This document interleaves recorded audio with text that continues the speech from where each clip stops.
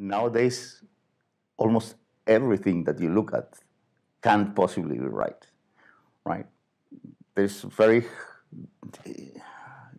it's a weird feeling, right? The more you know about some theories, the more you are convinced that, well, they may contain some grain of it, but they're surely not right. Quantum mechanics was something shocking, uh, and it, it is more shocking the more you think about it. Whenever we apply it, we uh, separate the object of interest that we are considering and describing quantum mechanically, and the rest of the stuff, in particular ourselves, which we talk and describe in classical terms. We want to understand the emergence of our universe, the evolution of the universe, and the evolution of ourselves out of very early simple uh, regime.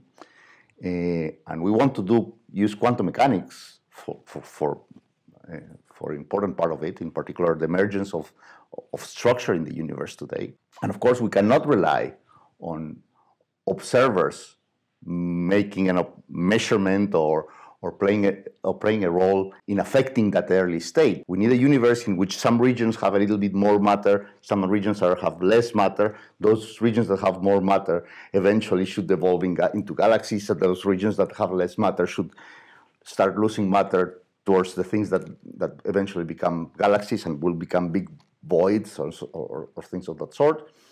Uh, and, and this step, this breaking of this symmetry, is something for which ordinary quantum mechanics has no answer. Theories in which uh, you modify the fundamental evolutionary law of quantum mechanics, you modify it in a way that its effect on simple quantum mechanical systems would be very small, but that when uh, dealing with the very large collection of uh, a system made out of very large degrees of freedom, all of them quantum mechanically entangled, would produce very large effects. Early universe is one very simple test ground for this kind of ideas, for testing the interface of quantum theory with this slight modification with quantum, with the gravitation.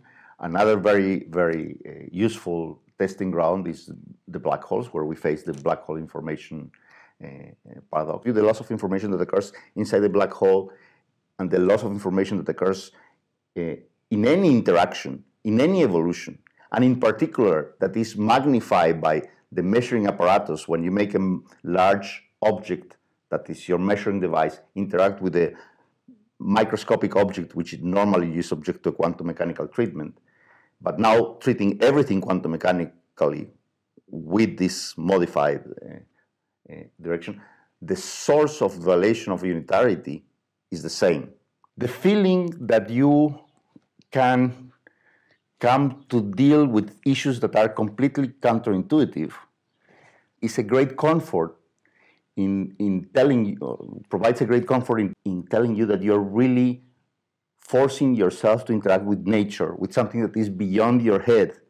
My, my impression is that things that are intuitive are things that, in some sense, your mind is prepared to accept, and then you don't know so much how much comes from the outside and how much it comes from, from the inside. But when you're forced to deal with things that are counterintuitive, it must be something that is outside because your brain really doesn't want to accept it. So, so it's, it's, it's a great feeling that you're really interacting with nature.